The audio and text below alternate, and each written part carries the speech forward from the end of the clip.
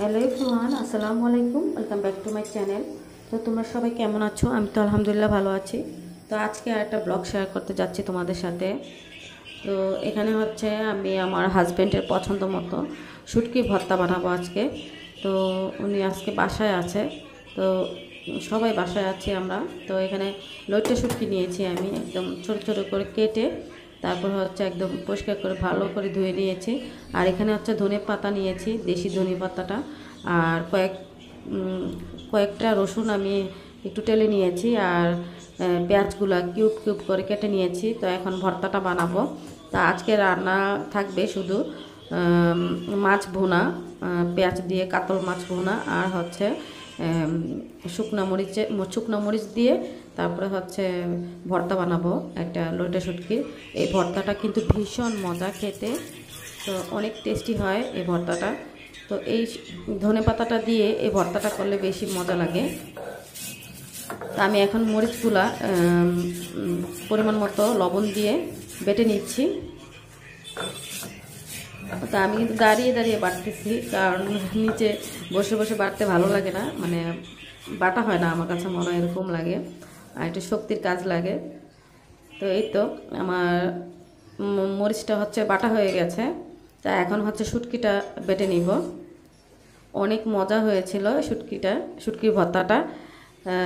গতকালকে পান্তা ভাত ছিল, পান্তা ভাত দিয়ে আর কি অল্প একটু পান্তা ভাত দিয়ে খাইছি, এত মজা হয়েছে, আলহামদুলিল্লাহ। তো শুটকিগুলো এখন বেটে নিচ্ছি।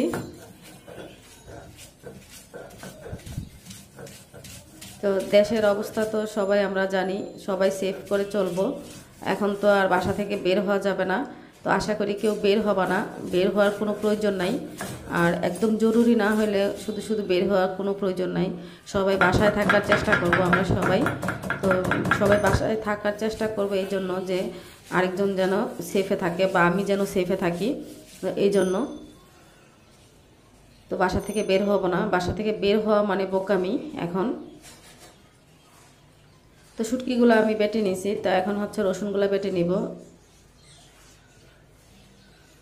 তো মরিচটা কিন্তু অনেক লাল ছিল, অনেক মানে লাল একটা কালার ছিল, খুব সুন্দর একটা কালার ছিল। মানে দেখতে পাচ্ছ, যখন আমি বাটতেছিলাম হাতটা আমার লাল হয়ে গেছে পুরা। অনেক লাল ছিল মরিচগুলা। এই ভর্তাটা খেতে অনেক মজা। তো যাদের বাসায় লইটা শুটকি আছে এখনই বানিয়ে খেয়ে ফেলো। আর যারা যারা বানাতে জানো, তারা তারা তো অবশ্যই জানো। আর যারা না জানো, এভাবে বা করে বানিয়ে খেয়ে ফেলো, যাদের মন চাইবে।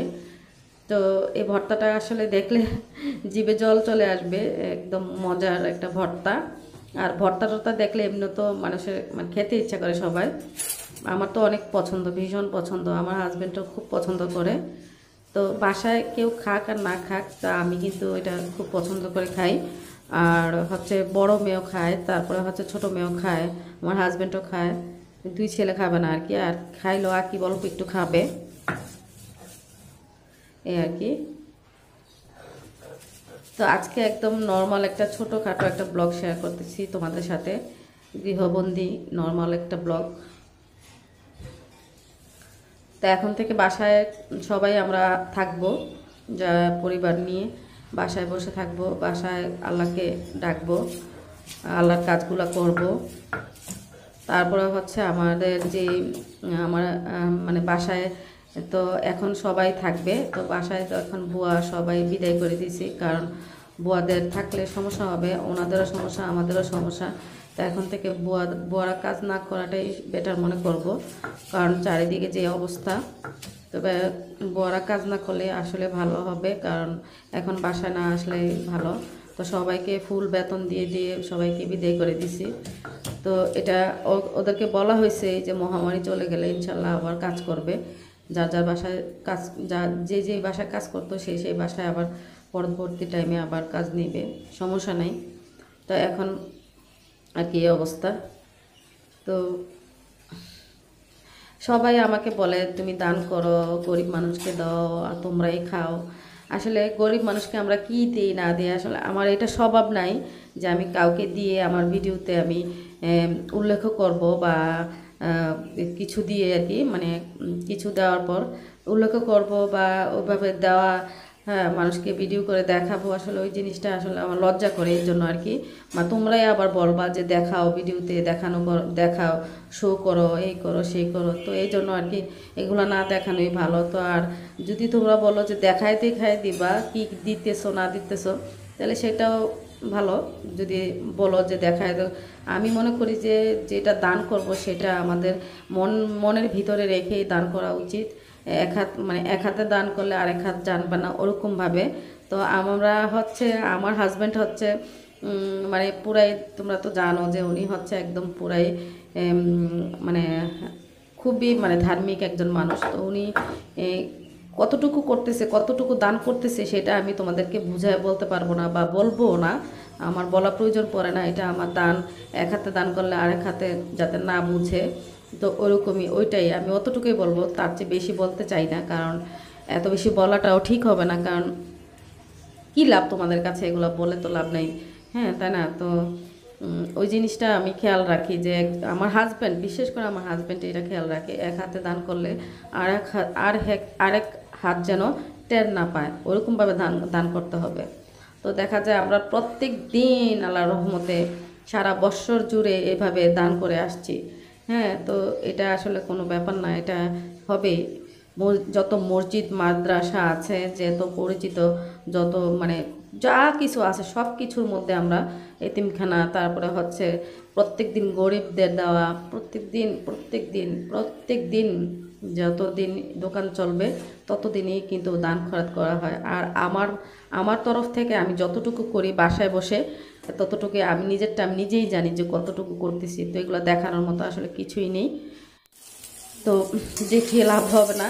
তো তোমরাই আবার বলবা যে দেখান কেন শো করেন কেন, সেটা এটা, সেটা ভালো না। হ্যাঁ ভালো না, এটা তো আমি জানি, এই জন্য আমি দেখাই না। তো একটা মানুষ কিন্তু একজন গরিবকে কিন্তু ভালো করে দিতে পারবে। তো এত মানে আমাদের তো আর এত কোটি কোটি টাকা নাই যে এত ই নাই। যে আমরা মানুষকে একদম মানে প্রত্যেক দিন মানে এক একটা মানে অনেক কিছু দিতে পারব। আমাদের সাধ্য মতো আমরা যতটুকু দিই, আলহামদুলিল্লাহ, শুকুর আলহামদুলিল্লাহ। যতটুকু দিতে পারতেছি, মসজিদ, মাদ্রাসা, এতিমখানা, তারপরে গরিবদের দান করা, তারপরে হচ্ছে অনেক কিছু। এগুলা বলা যাবে না, এত কিছু বলা যায় না। তো এখন হচ্ছে মাছ রান্না করব, পেঁয়াজ দিয়ে। তো তোমরাও মানে যারা আমাদেরকে, আমাকে এই উপদেশটা বারবার দিতেছো তো আমিও আশা করব তোমরাও গরিবদের কিছু করবা গরিবদের জন্য। তো সবাই করবা, সবাই সবার জন্য করব। এখন হচ্ছে দুর্দিন সবার। তো সবাই আমরা সবাই জন্য হাত বাড়িয়ে দিব এবং সবার জন্য সবাই কাজ করে যাব। কারণ কেউ যেন না খেয়ে মরে, এরকম অবস্থা যেন না হয়। তো সবাই যেন সুন্দরভাবে এই দিনগুলা, সময়গুলা আল্লাহকে ডেকে পার করতে পারে।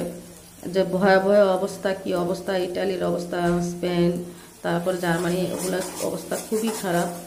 এগুলো দেখলে খবরে মানে আসলে আর মন টিকে না, ভালো লাগে না কোনো কিছু। তো কিছুই করার নাই, আল্লাহকে ডাকা ছাড়া, আল্লাহ ছাড়া উপায় নেই।